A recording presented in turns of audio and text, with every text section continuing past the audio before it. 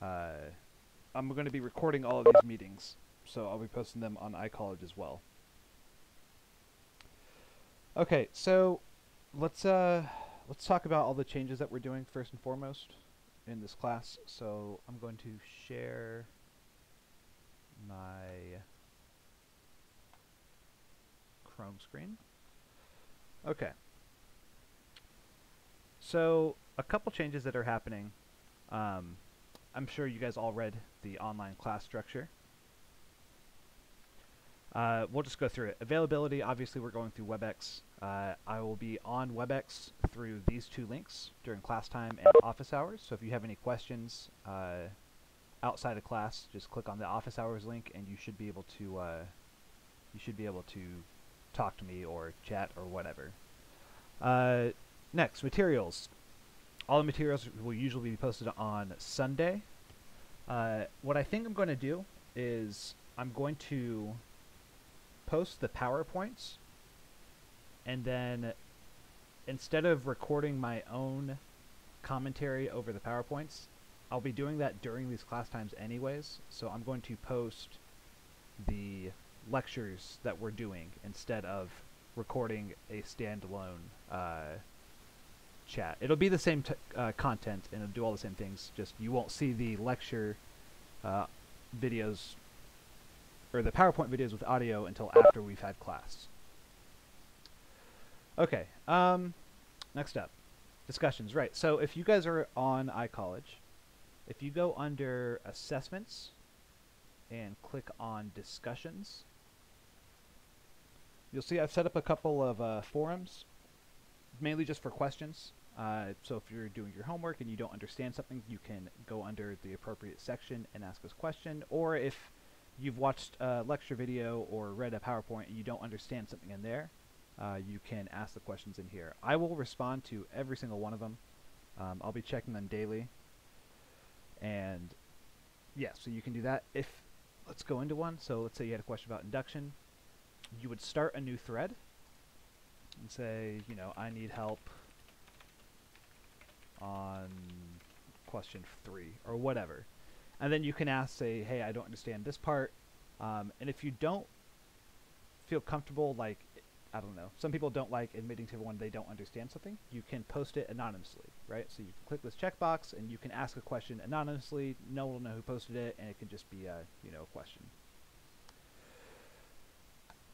so I definitely uh, recommend using this if you're not understanding anything because unfortunately just the reality with online classes is there's going to be more self-learning than there would be uh, in a standard face-to-face class at least in my opinion. Okay. So that's where you can ask questions. There's a forum uh, and again I will respond to all of them all right, let's talk about homework. So homework, uh, I'm going to assign all the homework uh, also on Sunday, the same time that I release all of the lecture uh, PowerPoints, all the PowerPoint notes. And let's see if I can do student view, yeah. So they're going to be released on Sunday. Uh, instead of them being due on usually it was the following Thursday. I've extended all the due dates to the following Sunday. So for example, sections 5.2, 5.3 and 6.1 aren't due until 11:59 on Sunday. So that should give you guys plenty of time. Again, I know you'll be doing a lot of other work with your other classes, so I think it's appropriate to give you guys some extra time to work on the homework. So homework due dates are extended. Um, just be sure to check WebAssign and know which Sunday uh, the homework's due. Don't accidentally, you know, miss the due dates. Okay, so I mean, homework's pretty much the same, just a, a later due date. Moving on to quizzes. Uh, quizzes will be posted on iCollege. Uh, the thing with quizzes is I believe we only have one more quiz for the remainder of the semester, right? So we don't have a quiz this week. We will have a quiz next week. The week after that is a test, I believe. And then the week after that, I won't qu- give a quiz. and the week after that is finals. So that's what one, two, three, four, four weeks left. So we only have one more quiz. Uh, I'll post the quiz on iCollege the same way that I posted quiz five that said a take-home quiz, and you'll submit it in iCollege as well. So there will be a uh, assignment or quizzes that you will, uh, after downloading the quiz, you can print it out and write on it, uh, and you'll have to send it back to me. So that's a picture or a scanner. If you take a picture, just be sure to get you know the full page, decent lighting. Don't have a blurry picture, uh, especially if you have soft handwriting. Uh, it makes it very hard for me to read. So make sure you have a good picture and uh, re-up re-upload it onto iCollege. So that's how it will be for the quiz. Uh, tests, exam three will be the same way. It'll be posted on iCollege. You'll have 72 hours, so I guess not really 72 hours. I'll just make it three days, so the end of the third day. Uh, you'll have three days to complete it, and you'll re-upload it on iCollege as well. Same for the final exam. Final exam will be hosted on iCollege. You'll have three days to complete it and return it back onto iCollege. Okay, and I th think that does it for all the administrative stuff. Are there any questions about how the class is going to be moving forward?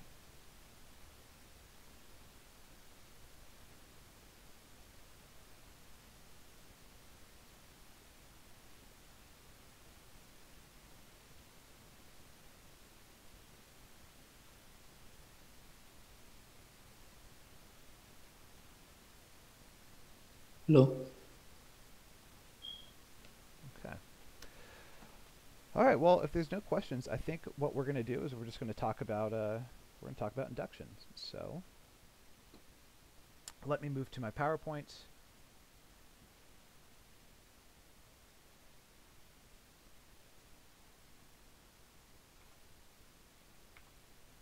All right. So everyone can see the PowerPoint, yeah? If you can't see a PowerPoint, let me know in chat. I, it should work fine. All right, so let's go straight to it. Proof by induction. So let's start off with a uh, an analogy.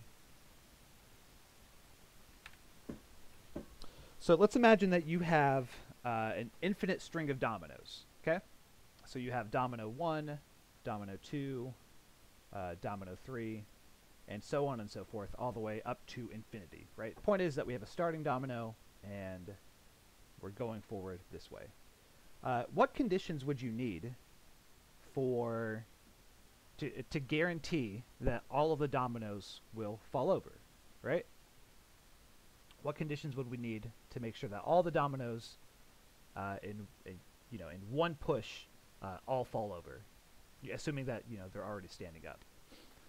Well, the first condition that needs to happen is you need to make sure that domino 1 falls over, right? You need to ensure that domino 1 will fall over. That's right, because that's like the starting point. You need to make sure that this one falls over first. So condition 1 is we need to make sure that domino 1 will fall over. Uh, in induction, this is what's known as the base case. So we make sure domino 1 falls over. Uh, what else would need to happen? Well, you would need to guarantee that if domino 1 falls over, then domino 2 will fall over, right? And you need to make sure that if domino 2 falls over, then domino 3 will fall over. You need to make sure that do if domino 3 falls over, then domino 4 will fall over, and so on and so forth. So you need this like chain of making sure that if domino, say, k falls over, then domino k plus 1 will fall over. And this is for any k bigger than or equal to 1, right? So you need to show that if domino k falls over, then domino k plus 1 will also fall over. And if you can show these two things, right, if you can show these two things, then that would ensure that all of the dominoes, after an infinite amount of time, would fall over. Does that make sense? Well, you don't have to respond, but uh, if that doesn't make sense, just chime in and chat.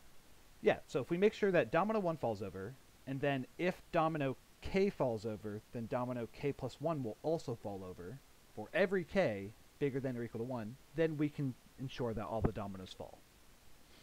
Uh, this type of argument right here with a base case, and this is called the induction step. So step one's called a base case, step two is called the induction step. Uh, these two things together is what's known as just induction. Okay, so this is how induction works. You prove a base case, and you prove an induction step. So let's be a little more clear uh, without the domino example. induction is used when you're trying to prove a universal statement uh, that has a starting point. So, for example, in our example just now, our starting point was domino 1, right? So induction is used when you have a universal statement with a starting point. So they're, they're used to prove things like this. For any integer n bigger than or equal to a, a is just the starting point.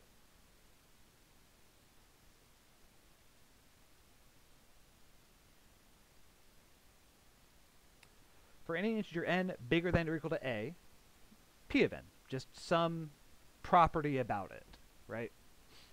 So this looks very similar to our normal uh, universal statements. Just induction is used when you have a starting point instead of it just being like, you know, instead of being all integers, it's just, you know, starting from, say, 0 and then 1 and then 2 and then 3, some property about it. So, induction is used, it works this way. You prove that P of A is true. That is, you prove that your base case is true.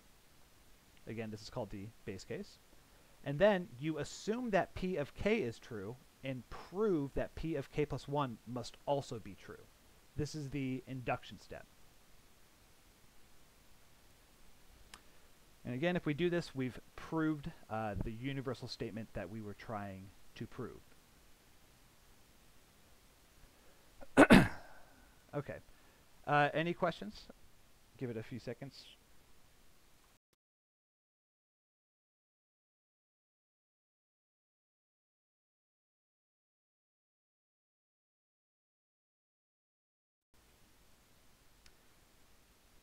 Okay. So let's move on to a example. Let's prove that for any integer n bigger than or equal to 0, n times n plus 1 is even. Uh, we had a question like this on the test where we proved for every integer n, n times n plus 1 is even. Um, induction only works if you have a starting point. So this is kind of like a weaker th thing that we're going to prove, but it highlights how induction works really well. So we're just going to prove that for every non-negative integer n, n times n plus 1 is even. And we're going to use induction instead of the other methods that we've used. So here's what we're going to do. We're going to let p of n be the sentence n times n plus 1 is even. Okay? So just giving a name to this uh, statement, or preposition, I guess. Uh, the base case, we need to show that p of 0 is true because we're starting with n being at 0. Okay, so we're going to assume that p of 0 is true. And what does that mean? Uh, we need to show it, so we need to plug in 0 into n, right, into this sentence. And you would get, you would need to show that 0 times 0 plus 1 is even. And this is obviously even. A lot of times the base case is very simple to show. It'll be things like this. Plug in 0, and you get 0 times 0 plus 1, that's 0. 0 is even, so p of 0 is true. So you would show the base case. Uh, then you show the induction step. Okay, you prove the induction step. You show that for each integer k bigger than or equal to 0, if p of k is true, if p of k is true, then p of k plus 1 must also be true. Okay, so it's like a it's like a secondary uh, proof inside your theorem. It's like a whole new thing. If p of k is true, then p of k plus 1 is also true. You need to show that. So you'll assume that p of k is true. So you plug in k to this sentence. You plug in k here. And you're going to assume that k times k plus 1 is already even. Okay? And you need to show that k plus 1 times k plus 2 is also even. Right? Because p of k plus 1 is the sentence, plug in k plus 1 into here, k plus 1 times k plus 1 plus 1 is even. Right, p of k plus 1 is the sentence k plus 1 times k plus 1 plus 1 is even, or k plus 1 times k plus 2. So this is what this is the uh, plan of attack. This is what we're going to do. So let's do it. For any integer n bigger than or equal to 0, n times n plus 1 is even. So we will prove it by induction. So I'm just stating so that everyone can see the uh, method that we're using. Let p of n be the sentence n times n plus 1 is even. Step 1, our base case. Show that p of 0 is true. So if n equals 0, we plug in 0 for n, and we get 0 times 0 plus 1. Oh, that's a mistake. That should be 0.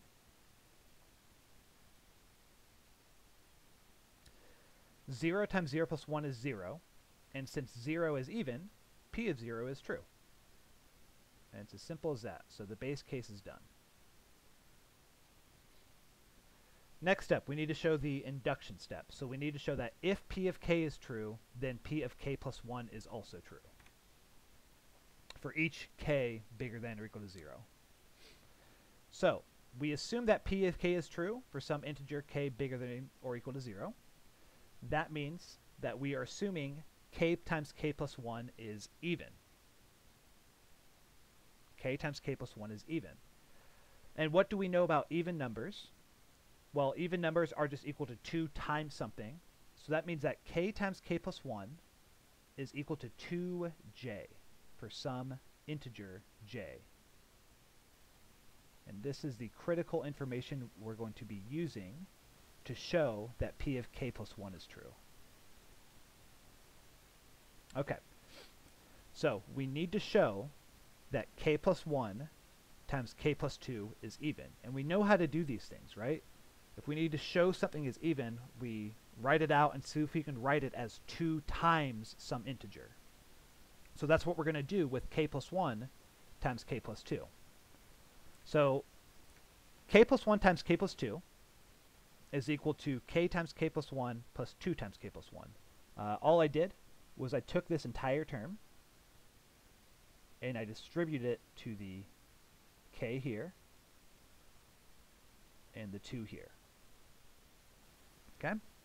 So I didn't do a full expansion, and I'll, the reason for that will be very clear in a second. So I took this whole term and distributed it to the k into the 2. So I get k times k plus 1 plus 2 times k plus 1.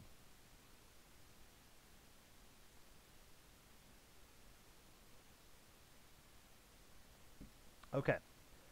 Uh, what now? Well, if you'll notice, here we have k times k plus 1. But up here, we're assuming that k times k plus 1 is equal to 2j. So I'm going to make a substitution. I'm going to replace k times k plus 1 with 2j.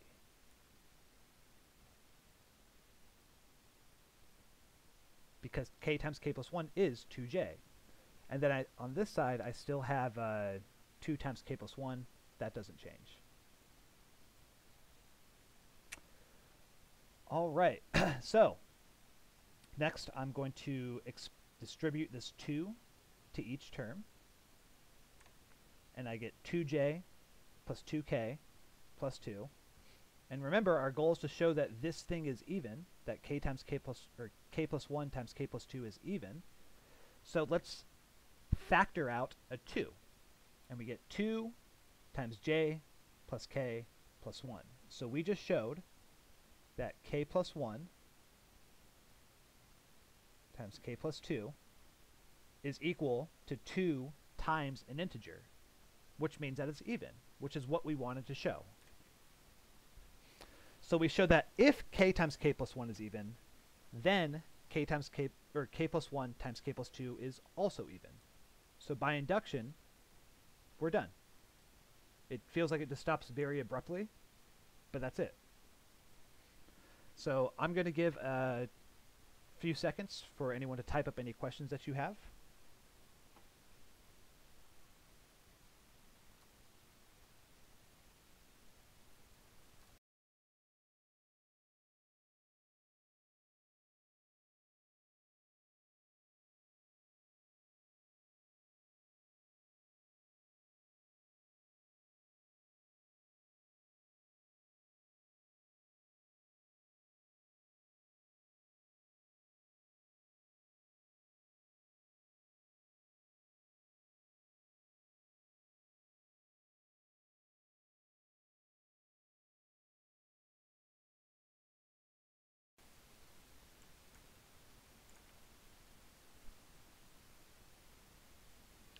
All right. If there's no questions, then we will uh, we will move on to the next slide.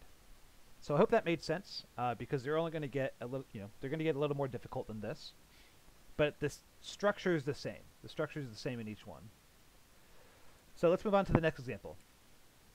Uh, let's prove that for every integer n bigger than or equal to 0, 4 to the n minus 1 is divisible by 3. Let's remember what being divisible by 3 means. If 3 divides x, or if x is divisible by 3, this means that you can write x as 3 times some integer j.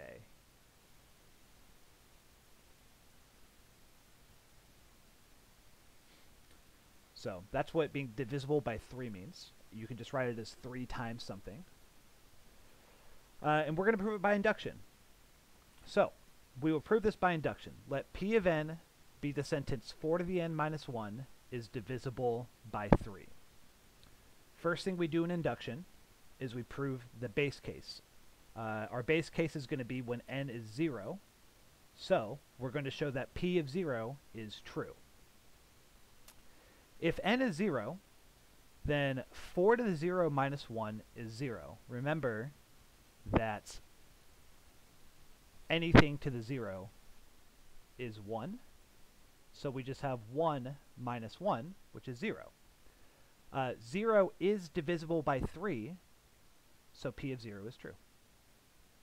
0 is divisible by everything except for 0. So 0 is divisible by 3, so p of 0 is true.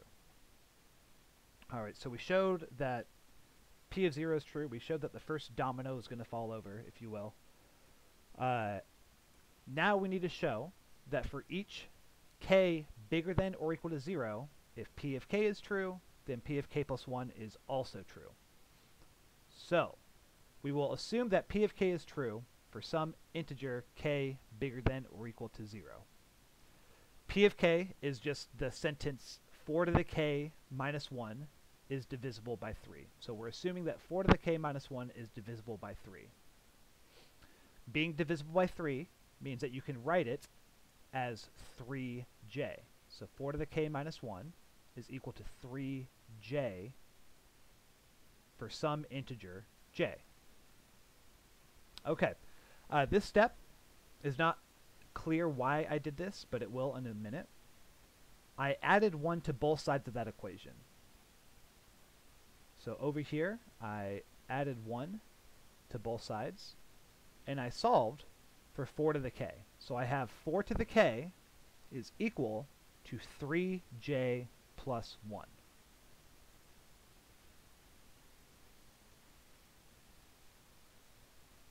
Alright, so let's remind ourselves uh, what we're trying to prove. We're trying to prove that p of k plus 1 is true. So we're trying to show that 4 so want to show 4 to the k plus 1 minus 1 is divisible by 3.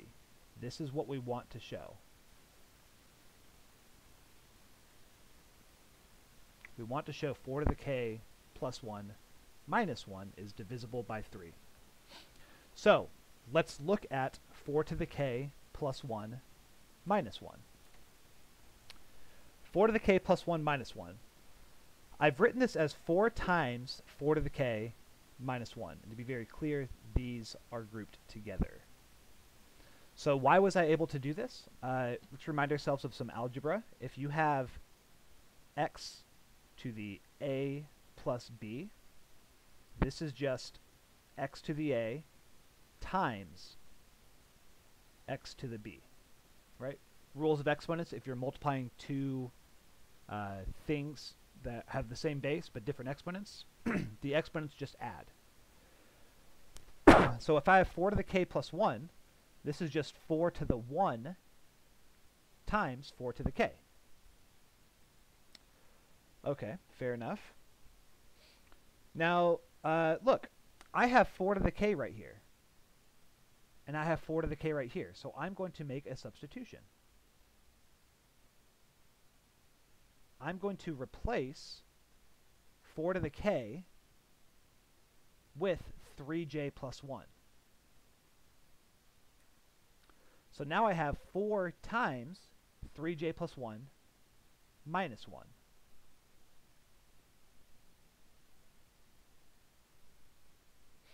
So I have 4 to the k, or 4 times 3j plus 1 minus 1. Remind ourselves, what we're trying to do, uh, we're trying to show that 4 to the k plus 1 minus 1 is divisible by 3. So I want to be able to pull a 3 out of this. That's going to be my goal. I didn't mean to do that. Uh, can I undo? Yes. Alright, so I'm trying to pull a 3 out of this. So let's go ahead and expand this 4 to each term. This is just going to be 12j plus 4 minus 1, which is 12j plus 3. Pulling out a 3, we get 4j plus 1 on the inside. And we've done it, right? We've written 4 to the k plus 1 minus 1 as 3 times something. So that means that 3 divides 4 to the k plus 1 minus 1. So therefore, 4 to the k plus 1 minus 1 is divisible by 3, and by induction, we're done.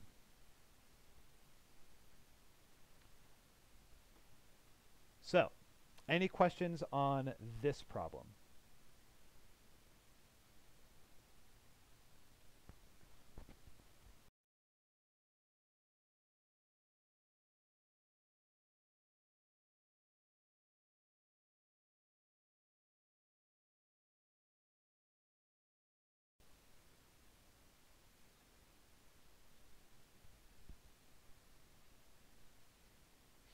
All right, awesome.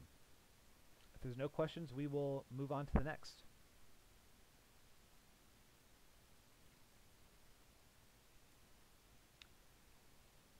Okay, so next, let's prove for every integer n bigger than or equal to 0, 2 to the n is less than or equal to n plus 1 factorial. Uh, let's remind ourselves of what factorials are. We haven't talked about them in two weeks. So, for example, 4 factorial is just 4 times 3 times 2 times 1. So factorials, you just multiply whatever you're doing the factorial of times every integer less than or equal to it all the way down to 1. so we're trying to prove that 2 to the n is less than or equal to n plus 1 factorial. We have a starting point. This is a universal statement, so induction is a very good candidate. So let's prove it by induction. Let P of n be the sentence or the equation or the inequality. Uh, 2 to the n is less than or equal to n plus 1 factorial. Our base case is going to be when n is equal to 0. So let's show that P of 0 is true. So if n equals 0, uh, the left side of the equation is just 2 to the 0, which is 1.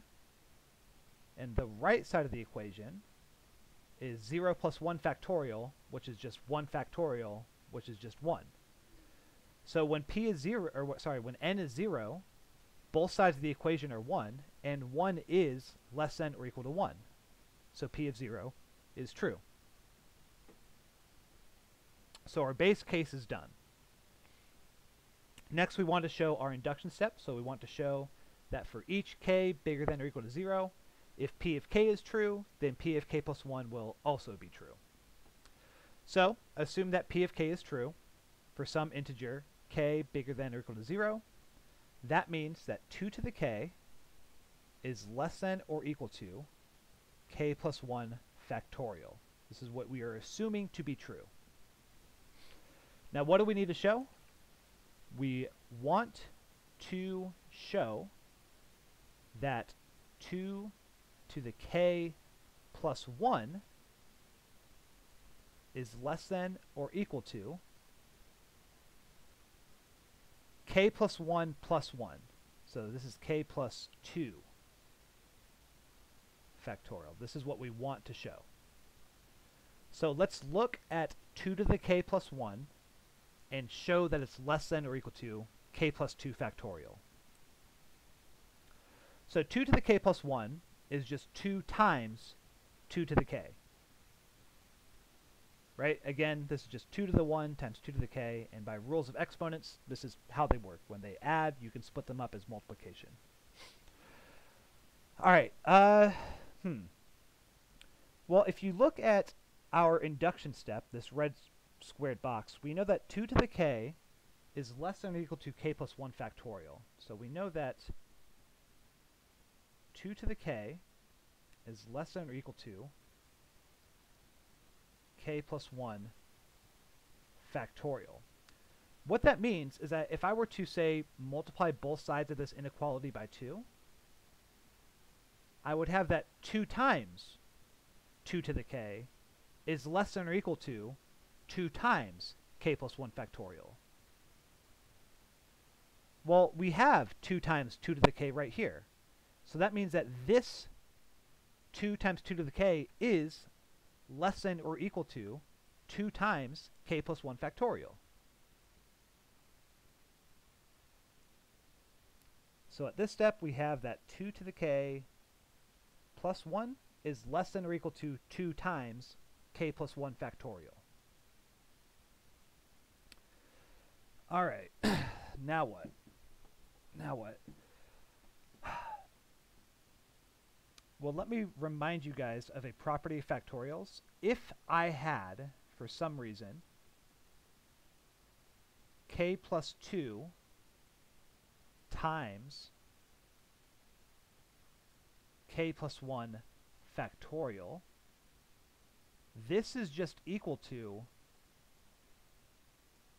k plus 2 factorial, right?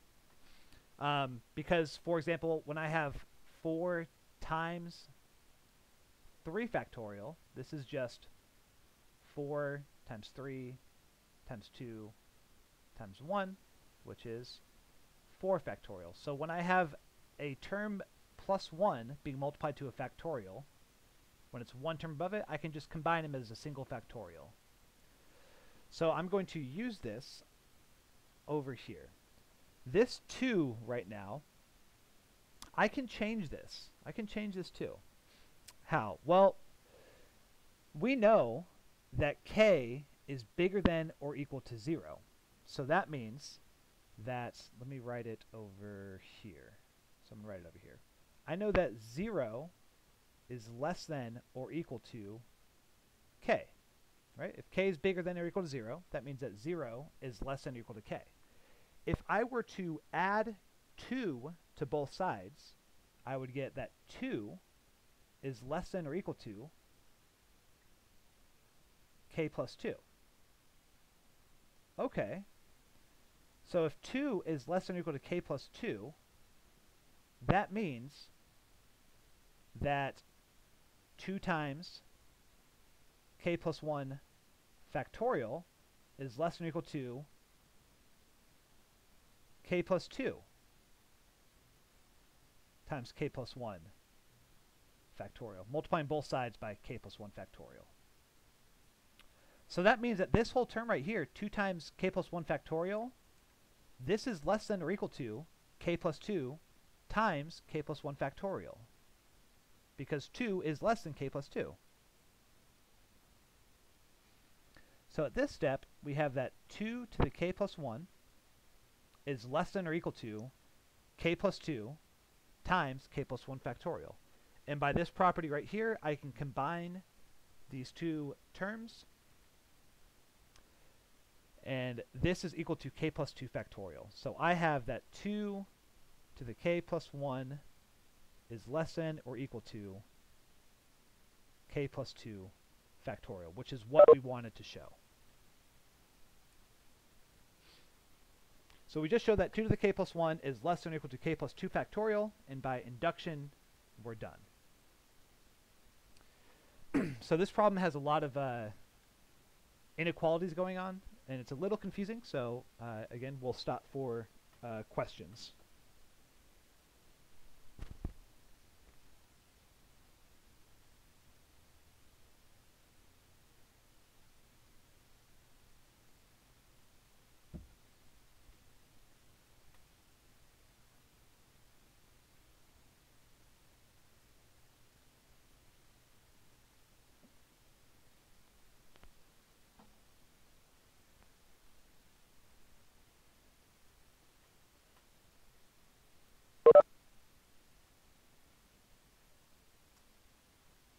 All right, if there's no questions, uh, then we're going to move on. All right, so let's talk about summations. Uh, this is a problem that's been around for a long time. Uh, people have talked about it. I guess certain people have talked about it for a long time. Uh, it's questions like this. What is the sum of the first 10 integers. That is, what is 1 plus 2 plus 3 plus 4 plus 5 plus 6 plus 7 plus 8 plus 9 plus 10? Um, it'd be a lengthy process, right? You could add each one individually, uh, but you could get there eventually. Uh, what about the first 100 integers? What, what if you were trying to add 1 plus 2 plus 3 plus 4 all the way up to 100? You could, you could do it. It, it would take a really long time, though. Uh, what if it was like a thousand or a million, right? Is there a better way to add up the first however many integers you want rather than doing it one term by one term? Well, let's uh, let's investigate. Let's do some investigative mathematics. Let's just start with uh, the sum of the first one integers. That's just, you know, 1. 1 is equal to 1. Uh, the first two would be 1 plus 2, which is equal to 3. The first three integers would be 1 plus 2 plus 3, which is 6. Uh, 1 plus 2 plus 3 plus 4 is 10. 1 plus 2 plus 3 plus 4 plus 5 is 15. And you could keep going. But we get this like sequence right here. 1, 3, 6, 10, 15. I wonder if this follows some general formula. It kind of looks like it does. It, it grows. Uh, so the question is, is there any pattern or is there any formula that we can get from this? And the answer is yes, there absolutely is. Uh, and I'm just going to give it to you here, and we're going to prove it. The sum of the first n integers can be given by the following formula. 1 plus 2 plus 3 all the way up to n for whatever n you want is just equal to n times n plus 1 over 2, which is pretty astonishing. Um, at least in my opinion. Uh, let's see if this thing works. So I said over here that the sum of the first five integers was 15, and if you add these up one by one, it is 15. So let's see what happens if you plug in 5 into this formula. Do we also get 15? Just to give us some, uh, to make sure that it works.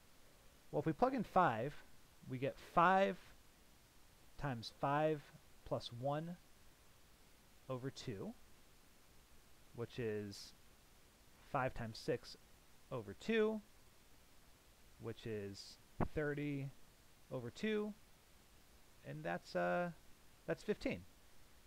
So it checks out for at least for 5 it checks out.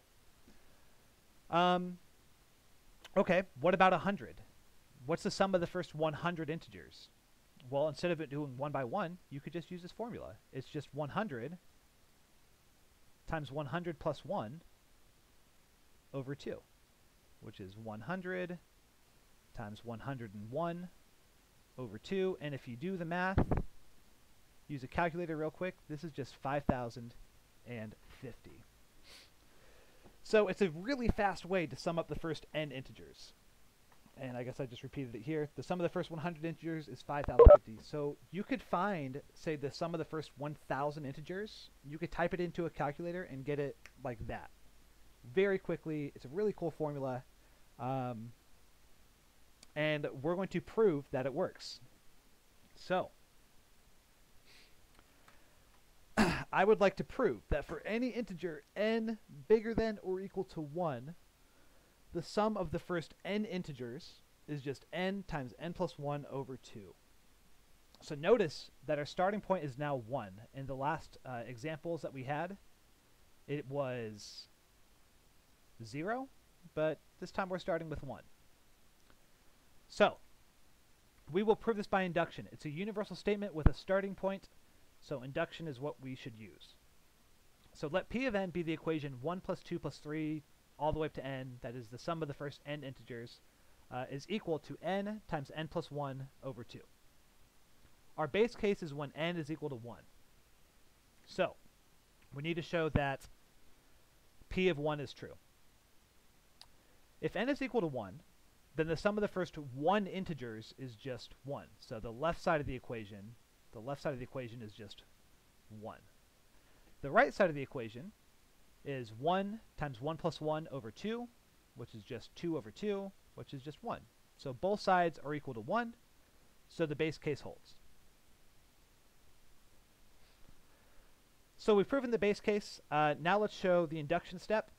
We need to show that for each integer k bigger than or equal to 1, if p of k is true, then p of k plus 1 is also true. So let's assume that p of k is true for some integer k bigger than or equal to 1 that means that we are assuming that this thing is true. 1 plus 2 plus 3 all the way up to k is equal to k times k plus 1 over 2. We need to show that p of k plus 1 is true. So we need to show that the sum of the first k plus 1 integers, that is 1 plus 2 plus 3 all the way up to k plus 1, is equal to k plus 1 times k plus 2 over 2. So plugging in k plus 1 into this equation, this is what we want to show. All right, so let's look at the sum of the first k plus 1 integers. Uh, 1 plus 2 plus 3 all the way up to k plus 1 is equal to, well, just that. Uh, all I did was I added some brackets right here. 1 plus 2 plus 3 up to k. So I'm kind of sectioning this guy off and leaving the k plus 1 at the end. And the reason I did that, because now I can make a substitution. I know that the sum of the first k integers, 1 plus 2 plus 3 all the way up to k, is just k plus times k plus 1 over 2. So I'm going to replace 1 times 2 times 3 all the way up to k with k times k plus 1 over 2. And then I still have this trailing k plus 1.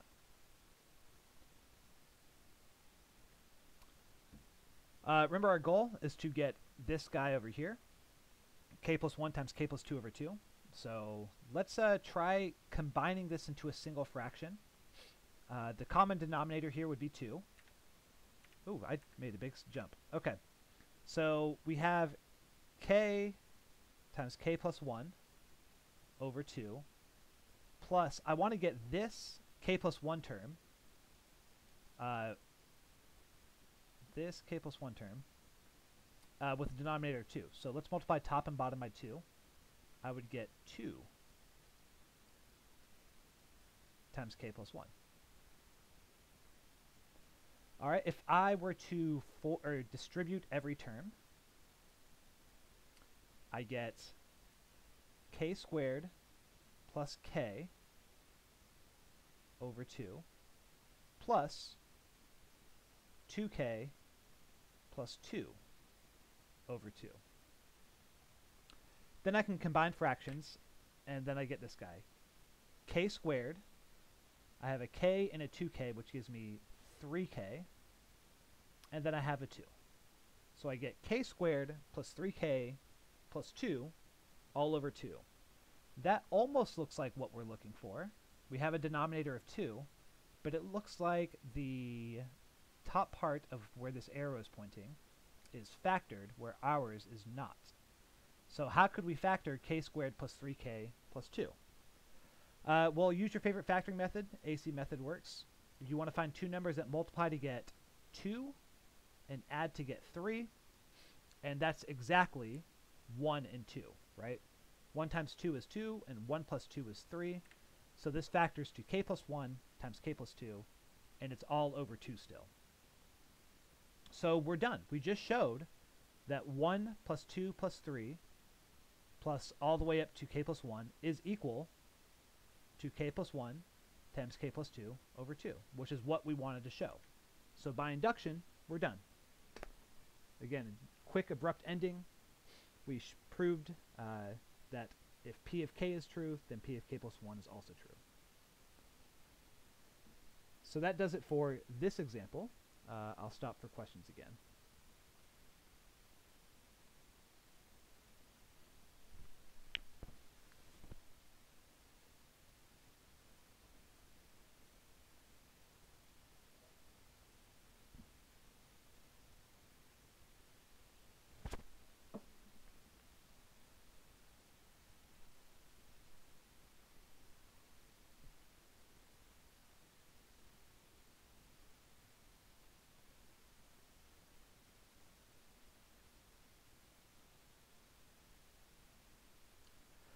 All right, if there's no questions, we'll go on to our final induction example uh, of the day.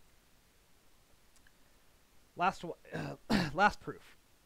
For any integer n bigger than or equal to 0, I would like to prove that this formula is true. The sum from i equals 0 to n of r to the i is equal to r to the n plus 1 minus 1 over r minus 1, where r is any real number you want uh, as long as it's not 1. So let's take a step back. What is this saying? Uh, summation notation. Let's remind ourselves what summation notation means and how it's used. To do summation, if you want to expand it out, we're starting with i equal to 0. So our first term in this sum is going to be r to the 0. And since it's a summation, we do plus. Uh, the next would be r to the 1 plus r to the 2 plus, and we keep going until we hit our last term, which is going to be n. So r to the n. And I'm claiming that this sum, r to the 0 plus r to the 1 plus r to the 2, all the way up to r to the n, is equal to r to the n plus 1 minus 1 over r minus 1. Okay, so this is what we're going to prove. it is a universal statement with a starting point, that is n starts at 0. So induction is what we're going to use. We will prove it by induction. Let p of n be the equation this, so just restating that guy. Our base case is when n is 0, so we're going to show that p of 0 is true. So if I plug in 0 to the summation, the left-hand side, I get the sum from i equals 0 to 0 of r to the i.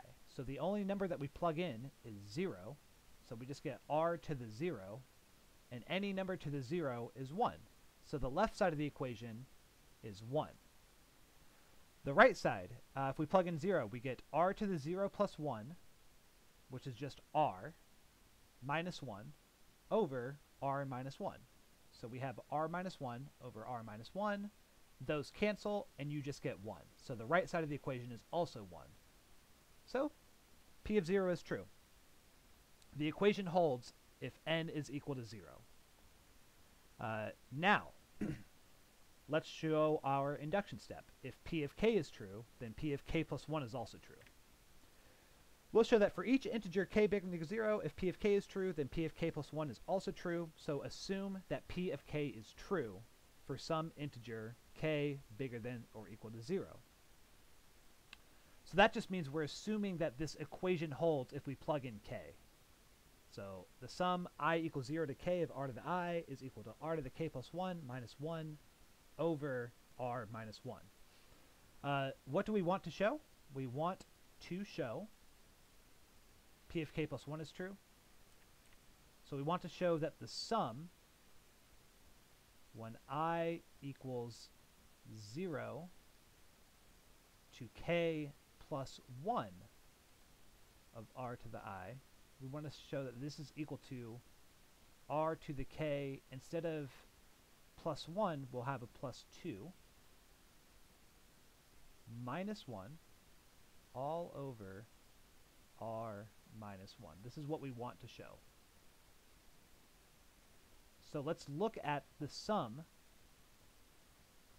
from i equals 0 to k plus 1 of r to the i and show that it equals this right fraction.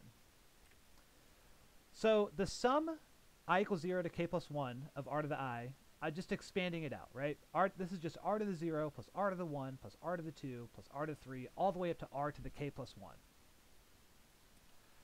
Now what I'm going to do is I'm just putting some parentheses in here. I'm sectioning off r to the 0 plus r to the 1 all the way up to r to the k, and I'm leaving the r to the k plus 1 at the end, kind of like what we did in the last example. so here, this expanded term right here, I'm going to collapse this back into summation notation. Okay?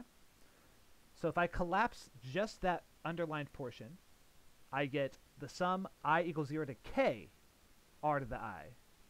And then I still have the trailing r to the k plus 1. And why did I do that? Because now I can make this substitution. The sum from i equals 0 to k of r to the i, we're assuming that it does in fact equal r to the k plus 1 minus 1 over r minus 1. So we make that substitution. And we still have this r to the k plus 1 at the end. Uh, so now, again, it's just a matter of combining these into a single term and showing that it equals this fraction right here. So let's get a common denominator. Right now, the denominator of, of this term is r minus 1. This one doesn't have one, so I'm going to multiply this term by r minus 1 over r minus 1.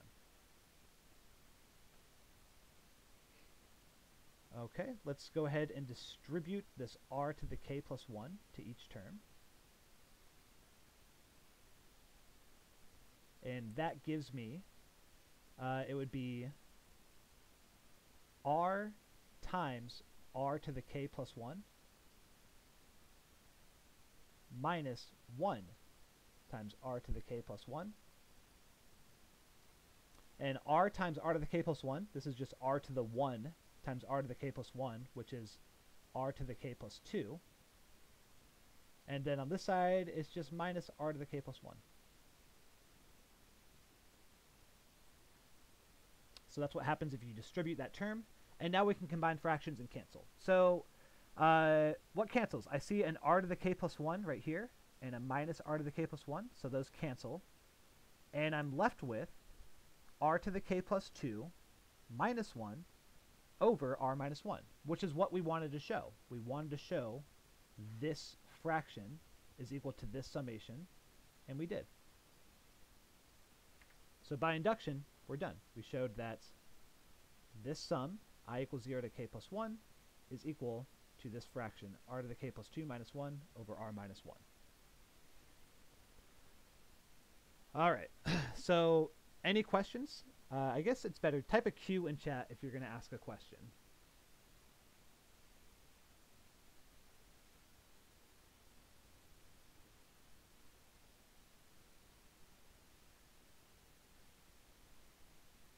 All right, so no questions. So that's it for proofs. Um, there's one more thing I want to go over that you'll see in your homework. In your homework, you're going to see some kind of a question along the lines of this. It's not a proof, but it's uh, uh, did I mention when exam two grades will be released? Uh, soon. Soon. I'll be releasing exam grades two uh, soon. It's been a very busy two weeks. um, but yeah, very soon, very soon. Before the end of the week, for sure. All right. So in your homework, it's going to ask you to find something along the lines of. Uh, I don't know, 4 plus 8 plus 12 plus 16 plus dot dot dot plus like 400. Okay? You'll be asked to find this summation. And one thing you should notice right off the bat is that these are all multiples of 4, right? So you should think, let me uh, go ahead and factor out a 4. So if I factor out a 4, the first term is just 1.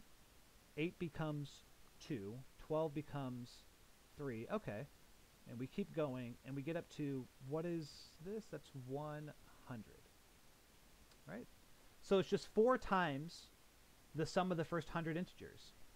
So you're going to use the formula that you know, that 1 plus 2 plus all the way up to n is equal to n times n plus 1 over 2. and you would say, okay, this is just equal to 4 times 100 times 101 over 2. Uh, some simplification, this 4 and this 2 cancel, so it's just 2 times 100 times 101. And this is 50-50, so what is this? Uh, I think that's right. 10,100? Yeah. So that's how you would solve a problem like this. And that's just all I wanted to mention because I didn't put it in the PowerPoint, but this kind of question is on your homework.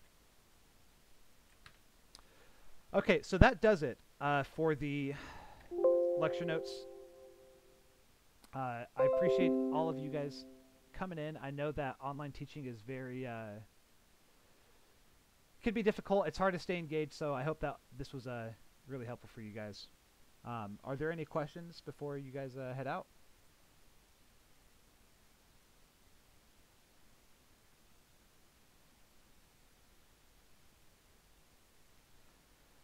All right, guys. Well, if you want, obviously, you can leave now. Um, if you have any questions, feel free to stay back. I'll be on for a little bit longer. Um, and otherwise, I will see you guys on uh, Wednesday. Again, thanks for uh, thanks for coming in.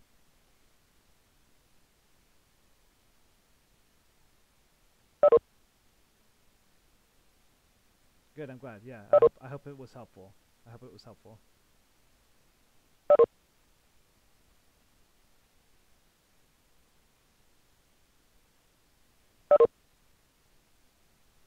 All right, Gia. See you Wednesday.